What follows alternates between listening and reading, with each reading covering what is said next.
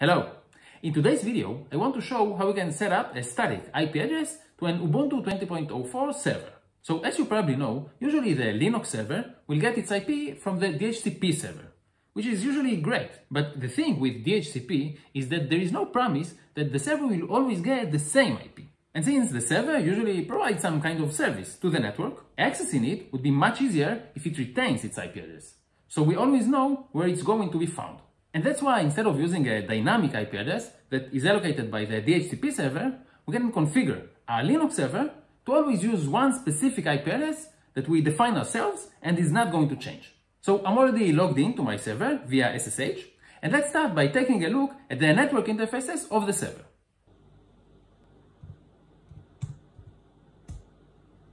And we can see that this server has only one network interface, ETH0, and its address is this. Now, as I said, this is an address that was allocated by the DHCP server, but we're going to replace it with a static one. We're going to need the exact name of the network interface, so let's write it down in a temporary text file.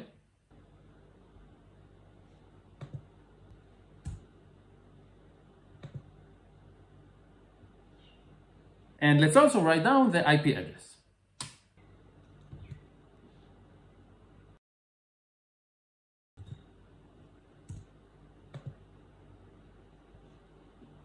We need to know that Ubuntu has two different mechanisms to handle network configuration. There is Network Manager, and then there is Network D. The desktop versions of Ubuntu usually use Network Manager, whereas the server versions usually use networkd. So a good first step would be finding out what your machine is using. To do that, I'm going to take a look at the NetPlan configuration of the server.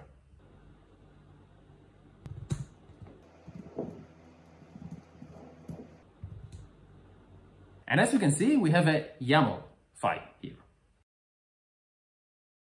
Let's see the contents of this file.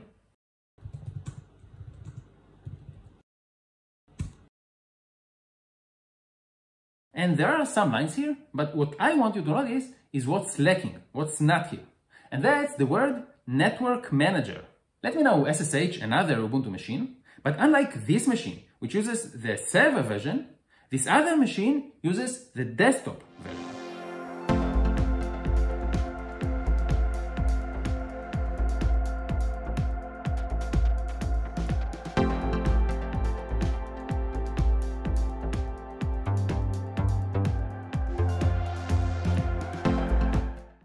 And we can see that in the desktop machine, we have this line, renderer network manager.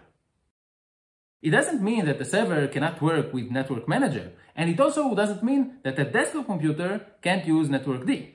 Both of them can use either one, and all that's needed to switch from one to the other is editing this YAML file. But that's what we have by default, and it's mostly a matter of using the most suitable tool for each scenario.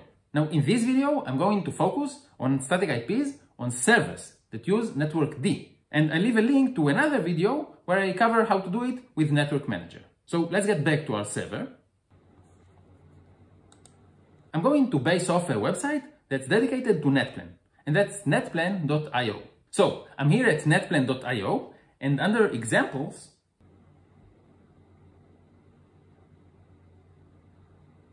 we can see that the first example is how to use DHCP, which is how we are currently configured, and indeed, we see that the example on the website is very similar to what we have on our server. The following example is about assigning a static IP. Let's start by copying the example.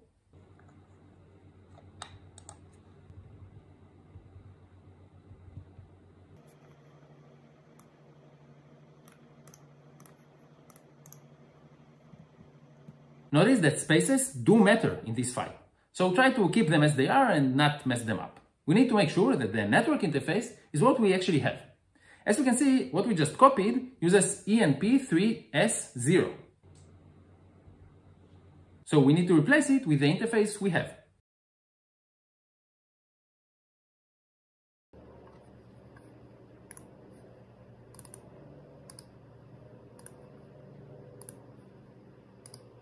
The next thing we need to update is the address. And here we're going to specify the IP address that the server is going to use. We can use any address within the subnet mask, but I'm going to use exactly the same address that was dynamically allocated.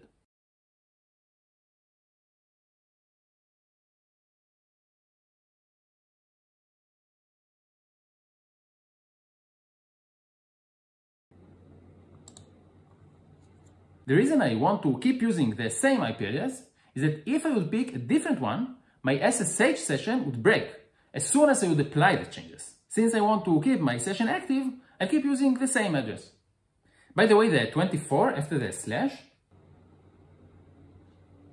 defines the size of the subnet mask. The subnet mask is determined by the router, and in a local network, it's always going to be 24, which means that the first 24 bits or the first three numbers are fixed and will always be the same. The fourth number specifies the specific host within the network. So even if I want to use a different IP, I could only change the fourth number. We can also specify the gateway and name servers, but I'm not going to do it, so let's get rid of it.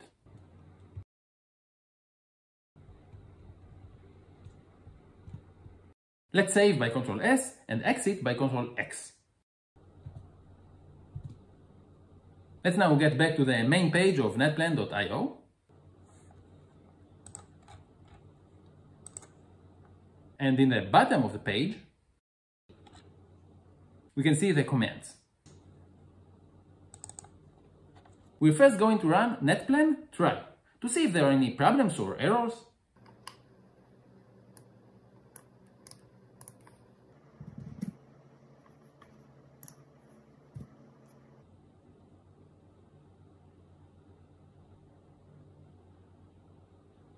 and we need to press enter before the timer runs out, otherwise the network configuration will be reverted. And to apply the new configuration permanently, let's run netplan apply.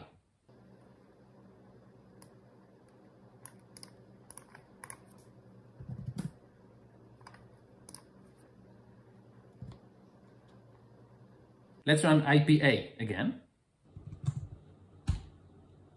And we can see that the network interface still uses the same address as before. But now we know that it's static and it's not going to change. Thanks for watching and I'll see you in the next one.